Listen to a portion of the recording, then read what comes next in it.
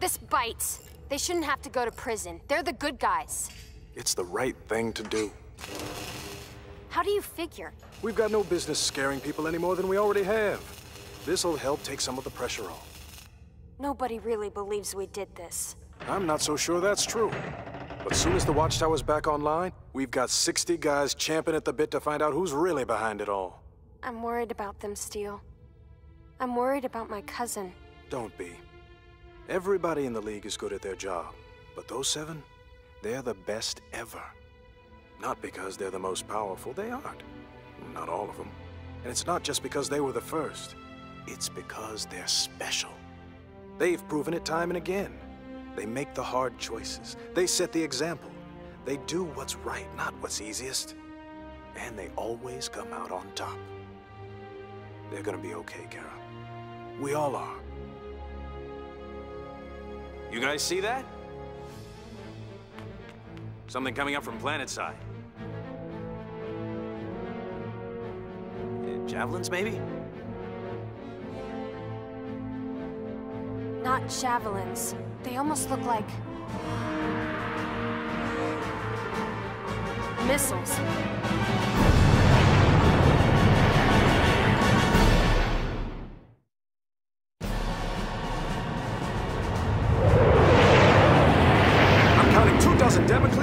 Missiles. That's LexCorp technology. Battle stations, prepare for impact!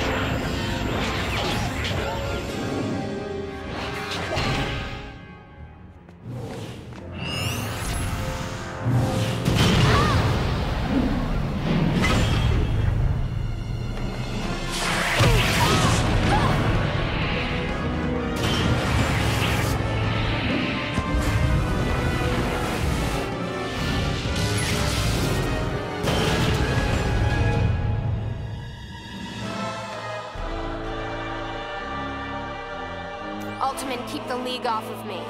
Sanitize the Watchtower.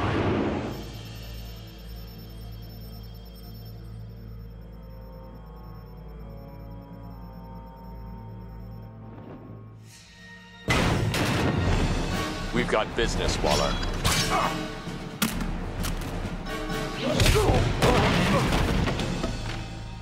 You told me once that you were a patriot. Well, it's time to step up. You have to know that the Justice League would never have fired that weapon at you. Sure you would. It was retaliation for kidnapping your man, the question. And yet you weren't home. We've had you under surveillance for months. You don't think we saw you evacuate your offices? A warning shot, then. Don't be dense. Someone took over our fusion cannon by remote control.